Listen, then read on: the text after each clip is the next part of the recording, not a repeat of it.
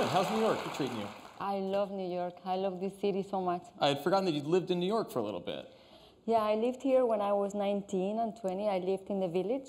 What brought you here when you were 19?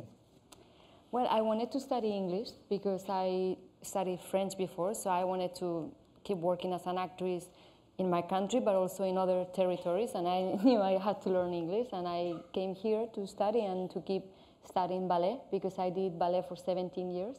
Mm -hmm. So I was here just being a student. I was already working a lot as an actress in Europe, but I took some time where I was just, I needed to feel like a student again, you know? It was really good for me. You know, you talked about ballet, and it's interesting to me. I, you know, we're going to be talking a lot about moms today. I think, you know, the, the film is called Ma Ma.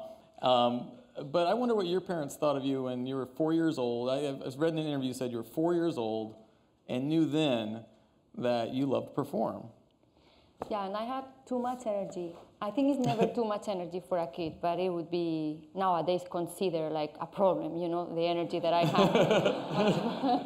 My parents were very wise and they said, this girl, she needs to do some sport.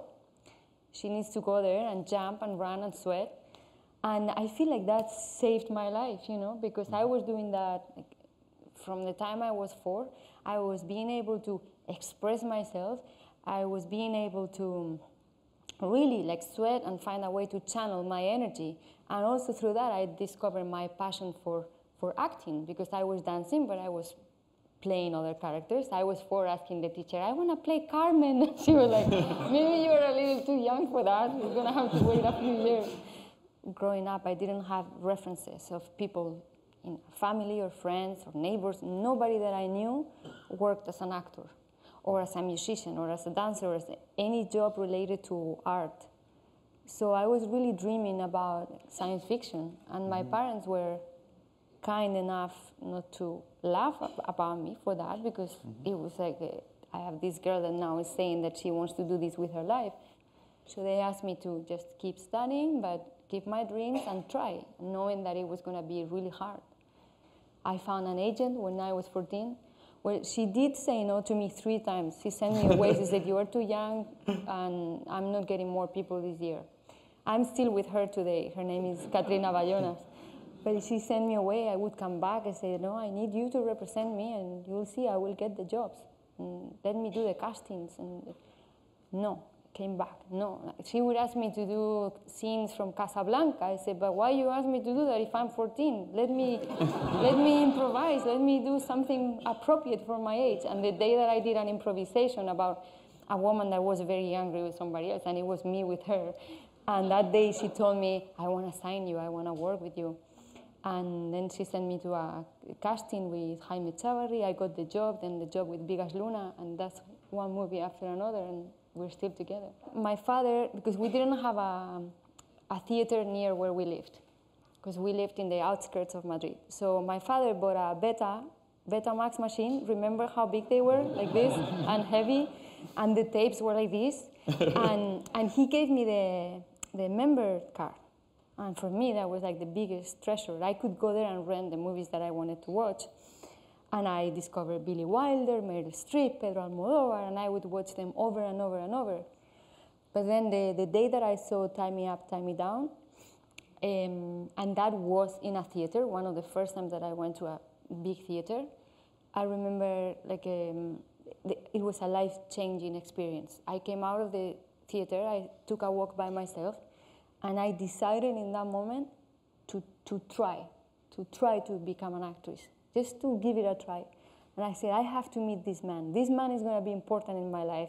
Even if I don't work with him, I have to tell him, I have to hug him, I have to thank him for everything that he gives us. It was amazing. I would go to his house. I found out where he lived. and, I and I would look um, at his window from the street like this. like. that. and then if if I would think about him in a movie theater or in a bar, if I would think about him, he would walk in. this happened like three or four times. By now, he believes me that those things happen. Like by then, he was, this crazy girl, but he was always so sweet to me. And and then when he saw um, my first two movies, he called me because he didn't thought it was the same girl that was like kind of stalking him. No? And, and when he called me, I, the person that was with me and told me Almodovar is on the phone, I was drying my hair and I said, yeah, very funny. And I kept drying my hair because that was exactly the dream. The dream for so many years, the thing that I wanted to experience was happening. And I didn't say, no, he is on the phone and he wants to talk to you. And, and for me, this moment was, imagine what it meant for me. I was very young. In the past, like, you know, with Volver, about your mother being an inspiration for certain mothers you've played, was, was she an inspiration at all for Magda? I think always when I play a strong character, a, a, strong woman that I feel is like a superhero, like capable of anything and everything, eh, she always comes to, to mind. Are you still? I, your mother was a hairdresser, and I've heard that you also do a little bit of haircutting on the side. You have a second job occasionally. I, I, I learned a lot in the hair yeah. salon, and then I forced people to let me do their hair. and a lot of friends, Salma Hayek, uh, she mm-hmm. lost her power, the, the light in her house, and she had to go to a premiere. And guess who she trusts? you learn a lot, you know. There are so many years I saw my mother and the people that worked with her doing that, and I was learning about her and all the treatments that they did, but I was, it was my first acting school because I saw all these women, they were all playing characters. And I don't judge them for that. I mean, we all do that. But they enter one way and, and, and live completely different person. you once said that you like to be terrified when you show up on set. Yeah, but I am always terrified. like, it, it, always feels like day one. Uh, I have the same feeling of my first day in Jamon Jamon. Completely new. You feel like a kid again. That's why this is so addictive, this feeling, because it is a new character and a new team of people you're working with. Uh, or even when it's with Pedro, there is so many movies together. If it's a new one, I feel like fresh, new, new start, you know nothing. Maybe you spend months preparing these characters. I really would like working that way, like having the time to prepare and to try to understand who they are. But even with that, you have to throw all that information away when you get to the set and just be open to whatever is going to happen that day, what comes from the other actors, from this director, from it's a process that is so alive. You can have everything planned.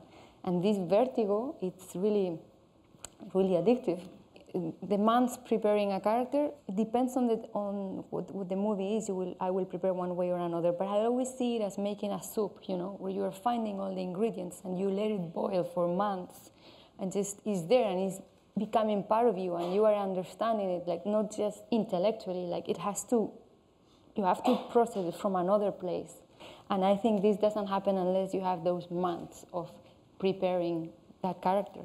And we did Vicky Cristina Barcelona. I, I, remember hearing that you know there's it's a Woody film, so there's no rehearsal. You just no, no, no, nothing. Right. There is like good morning. but I love I love working with Woody, but it's you know very different process. I, I would go up to him with my my notebook full of my my notes from my months of preparation and my drawings from Crazy Maria Elena and. And he would laugh at me in my face when we go there. He said, "But you really think you need to, to do all of that? But you're you're doing great. Why do you need to torture yourself with all of that?" said, well, this is the way the way I work. He said, "Yeah, I work with a lot of people that do that do this too. Like like if I was a total weirdo, you know."